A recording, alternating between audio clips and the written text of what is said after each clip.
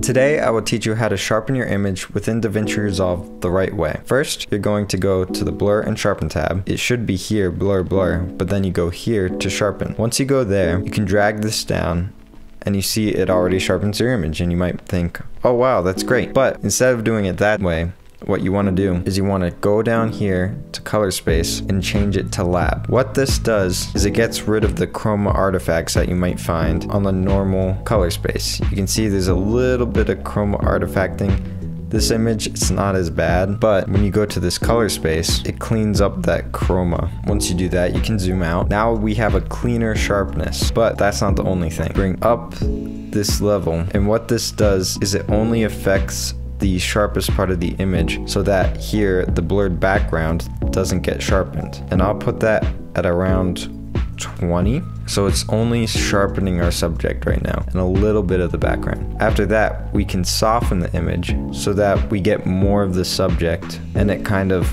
bleeds into the background, but still the most blurred out parts are still out of focus. Name that sharp. Now there's a few other things you can do. You can just leave it like this, bring it up to like 0.48, maybe 0.47. Here, I'll bring it down to 0.5 so you can see it even more. Another thing you can do is adjust the scale.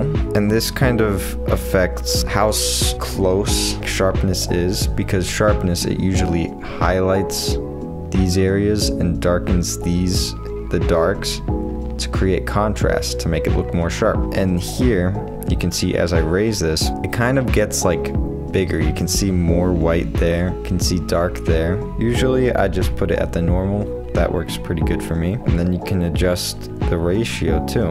I don't really know what this does, so if you know, leave it in the comments below. Before I show you the second way, I'd like to say that this is a series that I've been doing. So if you're wondering what all these nodes are, you can watch the other videos. I'll have it show up here. The second way, this is a more stylized way to sharpen and it's not even really sharpness, but it's called midtone detail. What this does is the highlights, it either softens the highlights or it can make the highlights more sharp. It's kind of like the clarity tab in Photoshop. If I have it at zero, this is what it looks like, but I can do negative 70 and you can see it kind of blurs everything if we go negative, but if we go positive, like 50, it creates this like sharp, edgy kind of feel. It's really used in like photography to give it like that edgy, moody look. And this is another way you can sharpen your image in a more stylized way. Now that you've sharpened your footage, you should correct your footage. So if you want to learn how to correct your footage,